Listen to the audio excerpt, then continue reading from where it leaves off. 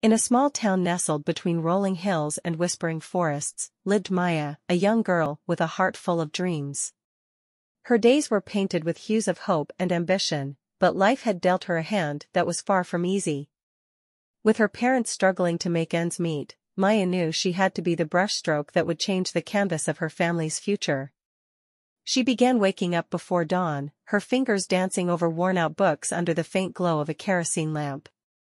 School, chores, and a part-time job filled her days, but Maya's spirit remained undeterred. Her dream was to become a renowned artist, to capture the world's beauty and share her vision with others.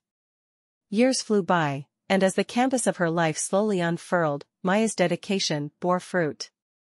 With every stroke of her brush, she painted a story of perseverance, resilience, and unwavering determination. Her artwork caught the eye of a famous curator, and soon, her paintings graced the walls of galleries around the world. Maya's journey was a testament to the power of hard work and belief in oneself. She transformed challenges into stepping stones and turned her dreams into reality, proving that with passion and perseverance, anything is possible.